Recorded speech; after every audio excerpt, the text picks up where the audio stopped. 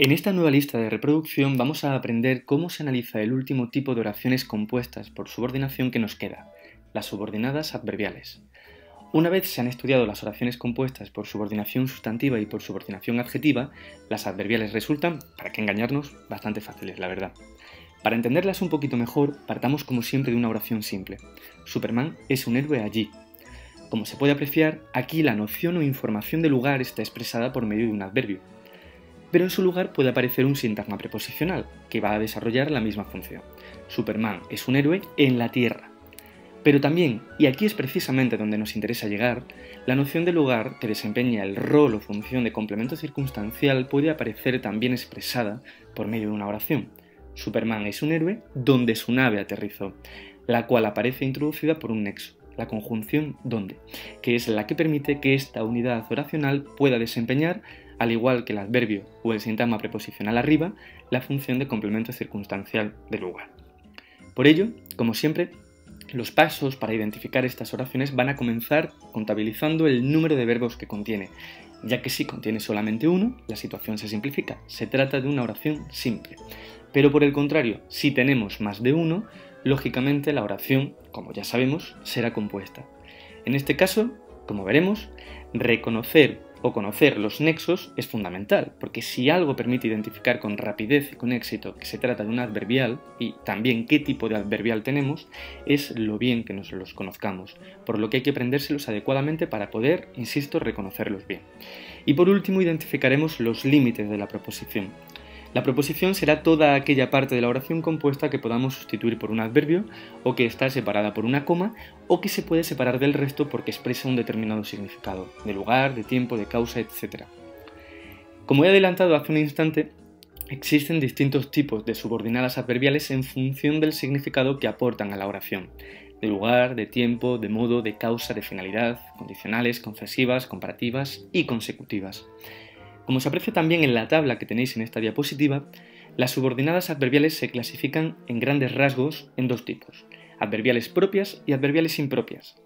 Las adverbiales propias son, son aquellas que se pueden reducir, sustituir sin problemas por un adverbio.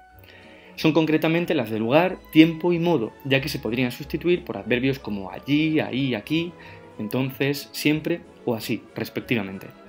Las impropias, por su parte, expresan significados mucho más complejos para los que no existen adverbios en nuestra lengua. Son los significados de causa, finalidad, etc., es decir, todos los demás. Volviendo a los nexos, supongo que os habréis fijado ya en que hay un buen puñado.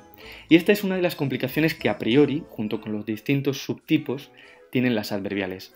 Pero en realidad que no cunda el pánico. Si se es espabilado, se verá que podríamos sustituir cualquier nexo de su grupo por el primero que aparece, el que acabo de destacar, de tal manera que tampoco sería estrictamente necesario aprendérselos todos. Por ejemplo, si echamos un vistazo al ejemplo que en la tabla aparece en el grupo de las concesivas, aunque no quieras, te llevaré al hospital, habría dado igual que hubiera aparecido otra conjunción o locución conjuntiva, es decir, un conjunto de palabras que funciona conjuntamente como nexo. A pesar de que no quieres, te llevaré al hospital, a sabiendas de que no quieres, te llevaré al hospital, si bien no quieres, te llevaré al hospital, aun cuando no quieres, te llevaré al hospital, etc podríamos sustituir cualquiera de ellas por aunque. Y si sabemos que aunque es un nexo concesivo, la oración subordinada adverbial es concesiva independientemente de cuál sea el nexo concreto que la introduzca. Aparte vamos a dejar las comparativas y el primer grupo de las consecutivas, a las que dedicaré un vídeo diferente, dado que la forma en que se analizan no coincide con lo que estudiaremos en este pero ahora no nos importan.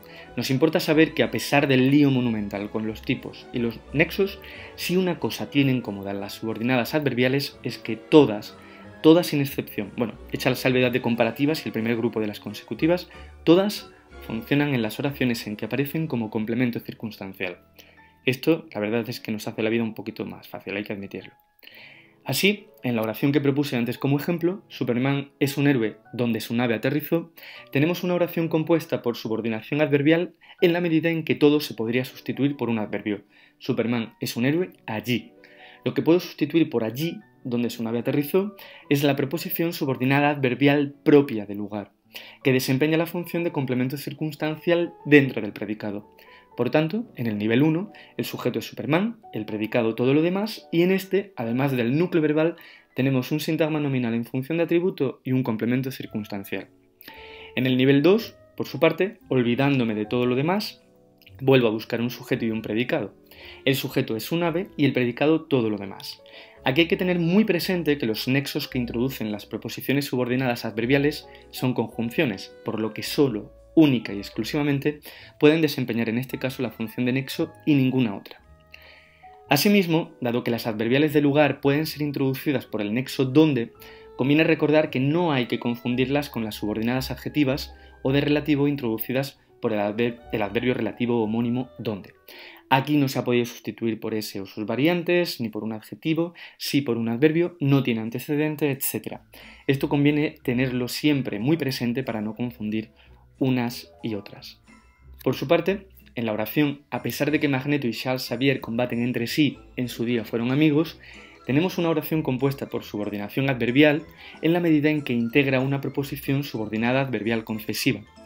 ¿Que no me conozco la locución conjuntiva a pesar de qué? No importa, seguro que sí me sé aunque, que es el más conocido de entre los nexos concesivos y puedo ver que si lo sustituyo todo por este, no hay cambio alguno en lo que respecta al significado. Aunque Magneto y Charles Xavier combaten entre sí, en su día fueron amigos.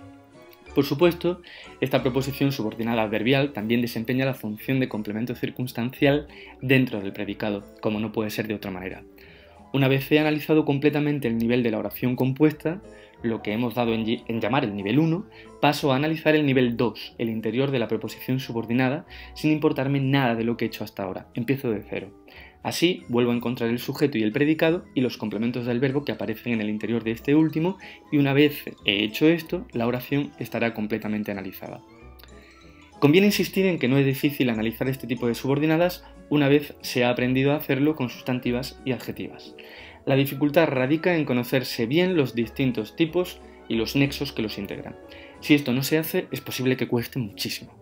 Por suerte, ya dijimos que contamos con la ventaja de poder, poder, admitir de entrada que todas estas proposiciones van a funcionar como complemento circunstancial dentro del predicado, lo cual simplifica bastante la situación. Si hay que, que prestar atención, por cierto, algún nexo, quizás sea el que introduce las subordinadas adverbiales condicionales, sí. Conviene estar atento y no confundirlo con el sí que introduce subordinadas sustantivas interrogativas indirectas. No es lo mismo. Ojo de Halcón se preguntó si los alumnos confundirían estos nexos, Ojo de Halcón se preguntó eso, que si Ojo de Halcón se cuestiona algo, siempre da en la diana, que no puedo sustituir por algo, porque en este caso expresa un valor condicional podría sustituir el nexo sí por cualquier otro de la lista. En el caso de que, siempre y cuando, etc., ojo de halcón se cuestiona algo, siempre da en la diana. Por supuesto, recalco también que dejamos fuera las comparativas y el primer grupo de las consecutivas que se analizan de un modo distinto y que estudiaremos en otro vídeo.